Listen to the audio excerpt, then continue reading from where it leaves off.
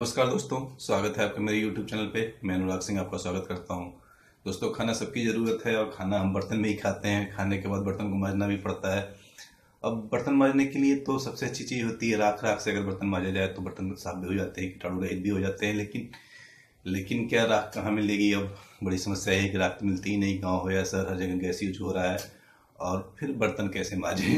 बर्तन मांजने के लिए कंपनियों ने तमाम तरह के बार सोप बना रखे हैं, जिनका हम यूज़ करते हैं। फिर क्या सारे केमिकल युक्त बार हमारे बर्तनों को साफ़ करने के लिए अच्छे हैं? क्योंकि अगर केमिकल बर्तनों में लगा रह जाए तो खाने के साथ हमारे पेट में भी पहुँचता है और कुल मिला के हमारे लिए हानिकारक होता है।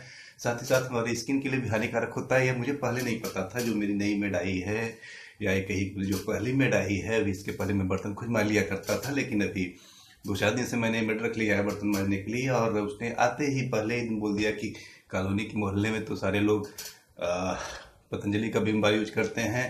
आप भी पतंजलि रखिए, तभी मैं आपका बर्तन साफ़ करूँगी, क्योंकि उससे तो मेरे हाथ ठीक रहते हैं, बाकी दूसरी कंपनी की बिम बार से, सॉरी, दूसरे कंपनी के डिस बार से मेरे हाथ कट जाते हैं, मेरे स्किन पे अच्छा नहीं दिखता। तो मैंने कल पतंजलि का सुपर डिस बार खरीदा। इसके पहले मैंने इसे यूज़ नहीं किया था, अभी भी मैं आज अभी आने वाली मैं उसको दूँगा। देखते हैं वो क्या कहती है। उसका यही कहना था कि मोहल्ले में सारे लोग यही यूज़ कर रहे हैं और स्किन के लिए अच्छा है। तो मैंने सोचा कि आ, देखते हैं। उसने ये भी बताया कि दाम भी उसका उतना ही मैंने भी पाया दस रुपये मिल जाता है।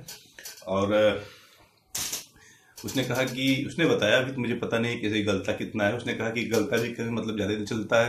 तो आपके लिए अच्छा रहेगा। तो मैंने सोचा कि अभी जो मेड है मेरा इतना ध्यान रख रही तो मैं भी इसका थोड़ा ध्यान रखूँ सकता है मेरा कुछ ज़्यादा ध्यान रखने लगे।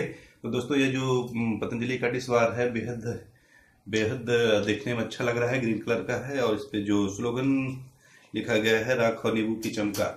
तो इसको बनाने में बाबा रामदेव ने राख और नींबू का यूज़ किया है तो राख तो हमेशा से यूज़ किया जाता रहा है बर्तन माजने के लिए, और नींबू नींबू तो हर तरह की मेल हटाता है, चाहे वो स्किन की हो या बर्तन की हो।